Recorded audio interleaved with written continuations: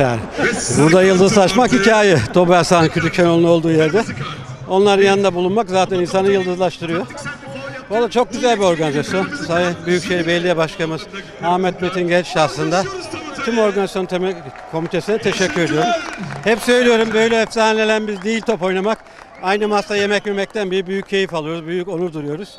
Bugün bu koltuklarda saygıyı görüyorsak o efsaneler, o devrim yapanların sayesinde bunun bilinciyle bu nöbetin başındayız. Sabahta bir yemek organizasyonu oldu orada da e, açıklamalarınız oldu. E, bu efsanelerin sizden beklentisi ne? Ne, ne konuştunuz? Vallahi hiçbirinin bir beklentisi yok. Beklentileri Trabzonspor'un daha iyi olması. Bu anlamda da Sayın Şenol Güneş'in takımın başında teknik sorumlu olması hepsini ziyadesiyle memnun ettiğini bugün canlı olarak müşahede ettik. Bu da bizi ayrıca sevindirdi. Hocamız çok güzel diyaloglar içinde bilgi fikir alışverişinde bulundu onlarla. Her şey yolunda. Başkanım, e, süreç demiş ki Şenol Güneş'te bir süreç, üst üste beraberlikler var. E, bu süreçten Trabzonspor çıkacak mı? Ne söylemek istersiniz? Mutlaka çıkacak. Trabzonspor diye bahsediyorsan çıkmama şansı yok. Evet bu bir süreç. Ee, bazen her şey doğru yan yana olmuyor. Ama önemli doğru inandığı şeyleri doğru yapmak. Doğru koltuğa doğru insanları oturtturmak. Dolayısıyla hocamız şu anda bir süreç kendi sistemine otururken bir süreç yaşıyor. Ee, gayet de doğal. Ee, ben bunun meyvelerini birkaç hafta içinde toplayacağını düşünüyorum. Ekonomik olarak Trabzonspor'un birkaç hamlesi vardı. Son olarak Bankalar Birliği'nden çıktı başkanım. Ve şehir içinde de yapımı bitmek üzere olan proje var mı? Proje var. Bunu Sayın Başkanımız açacak önümüzdeki günlerde. Ama e, bankalar birliğinden çıkmak bence başlı başına bir olay. Bu konuda yönetiminde olmaktan, as başkan olmaktan gurur ve onur duyduğum Ertuğrul Doğan'ın hakkını vermek lazım. Gerçekten 8 ay çok büyük bir mücadele verdi. E, olmayacak bir şeyi olur hale getirdi. Kulübü değerli hale getirdi. Kulübün emtialarını değerli hale getirdi. Dolayısıyla da sermaye artırımı beraber verdiğimiz sözü tutarak kulüpler e, bankalar birliğinden çıkmış olduk. Burada önemli olan şu. E, tabii hep galibiyet istiyoruz, hep sağ sonucu istiyoruz. Hepimizin gönlü bu. Hepimiz uyuyamıyoruz berabere kaldığımız zaman da ama biz farklı bir şeylerden de uykusuz kalıyorduk. Görevli olduğumuz iki süredir. Günü geçiremiyoruz. Başkanın bir bulduğu sponsorluk 3-4 milyon euro 15 gün götürüyordu bizi. Dolayısıyla şimdi her yıl ödeyeceğimiz 670 milyon civarında bir faiz yükünden kurtuldu Trabzonspor. Bu ciddi bir e, yürüyüşün bence sağlam yürüyüşün, başaracak yürüyüşün başlangıcıdır, bir milattır. Bundan sonrasını da sağ sonuçlarıyla iyi bir kadro oluşturarak e, daha da ileriye taşıyacağımız sağ sonuçları da iyi olacağına olan umudumuz sonsuz. Başkanım her gün Şenol Güneş'le berabersiniz.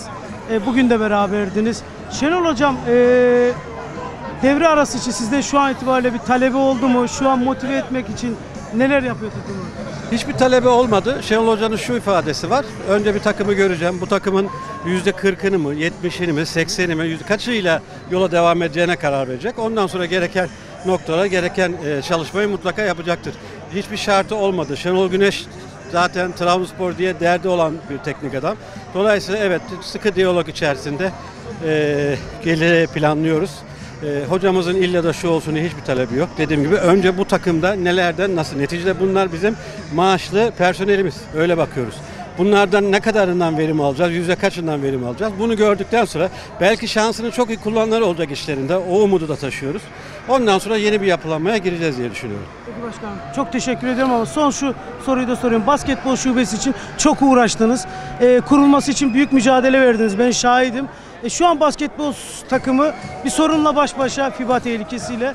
E, bununla alakalı taraftara ne söylemek istersiniz?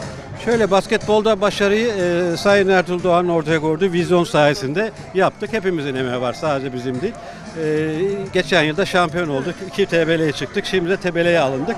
Evet burada Trabzonspor'un sadece amblemini ve ismini kullanmasına izin verdiği bir derneğin borçlarından dolayı FIBA ile başımız sıkıntıda. Tabii bunu biz şu anda mahkemeye taşıdık ve e, çözmeye çalışıyoruz. Olmadı ki çö- çözülmedi, bize rücu etti. Biz de o kapatılan, bırakıp kaçan derneğin o borçlanma dönemindeki başkanından yönetim kuruluna bunu rücu ettireceğiz. Yani e, eski görevi bırakan yönetimi. Mutlaka ortada bir dükkanı kapatırken evine rahat gidip uyuyamazsın. Önce borçlarını temizlersin varsa ki var ki bunlar geliyor başımıza. 25 milyon lira. Tabii alacaklılar e, bulamadığı için çok daha fazla. Alacaklar muhatap bulamadığı için ya Trabzonspor'un ismini ve amblemini kullanmışlar. Aralarında böyle bir akit var. Bari Trabzonspor'a çöküp oradan alalım yolundalar. Onlara bir diyeceğim yok ama tamamen haksız bir talep bizden istenmesi. Ama oldu ki hiç ihtimal vermiyorum da böyle bir şey Trabzonspor karşı karşıya kaldı. Bence dönemin sorunları bunun e, karşılığını ödemeli.